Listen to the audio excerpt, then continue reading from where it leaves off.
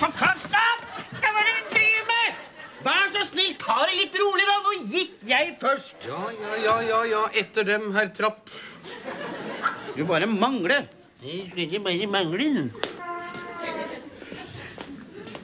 Nei, kutt ut nå, da!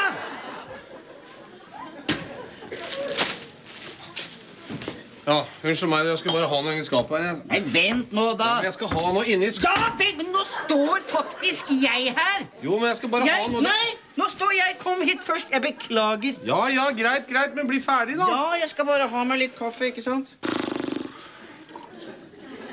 Ja, Kom igjen nå, da. Jeg. Ta det rolig. Sånn er livet, vet du. Må vente.